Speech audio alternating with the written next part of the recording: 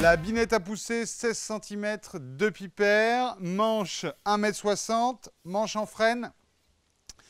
Nouveau montage, donc si vous avez l'ancienne version, vous verrez que c'est plus tout à fait pareil. Euh, c'est une euh, douille complète, vissée et emboutie à la machine, avec un axe qui nous permet de travailler à distance avec l'outil bien plat. Si vous êtes dans la région de Nantes, vous appelez ça un paroir.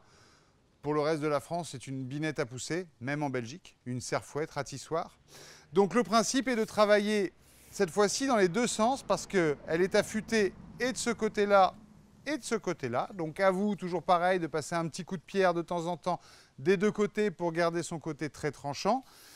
Et vous allez travailler en poussant, en tirant, de façon à passer un centimètre sous la terre et à faire un sarclage de qualité. N'oubliez jamais, on parle de sarcler ou de biner. Sarcler et biner, c'est arroser deux fois. Si vous avez un potager, n'hésitez pas, travaillez avec des systèmes à pousser, c'est bien plus performant et c'est bien plus pratique pour vous approcher de tous les végétaux qui sont rampants, comme les fraisiers par exemple. La binette à pousser, 16 cm de pipette.